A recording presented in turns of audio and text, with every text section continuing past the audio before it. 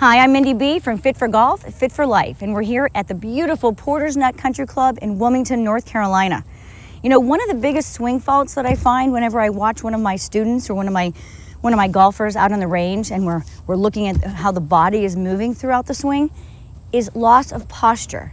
What happens is the arms go too fast, the hips go too fast, and it, there's not a sequencing.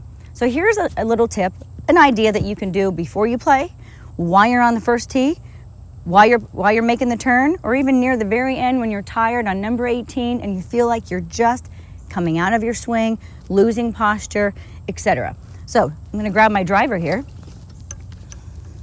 And what I want you to do is you're gonna take this driver and you're gonna put it right behind your shoulders, just like this. Now I'm going to turn because that's the direction I'm gonna go towards my target. So I'm holding right here. I'm in my stance.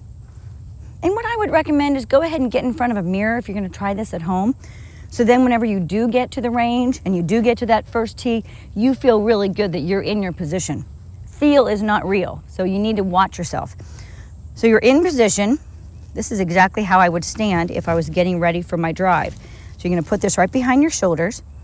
You're going to come back into a backswing very slowly and you're going to try to keep your angle of your shoulders and the club right in that slot, right in that playing slot.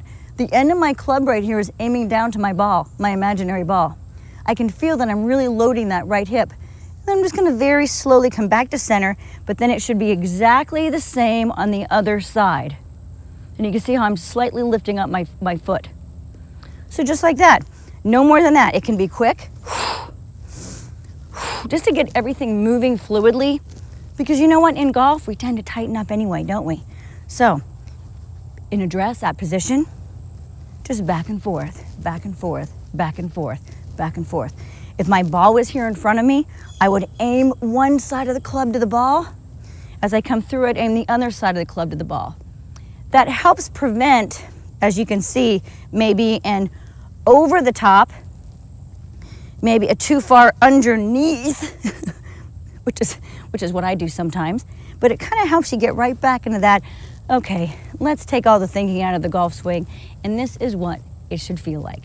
So, club behind the back, quick little rotation, about 10 times, get those hips going. It's gonna make your game even better every single time. So for that exercise and more, go ahead and visit my website, fitforgolfusa.com.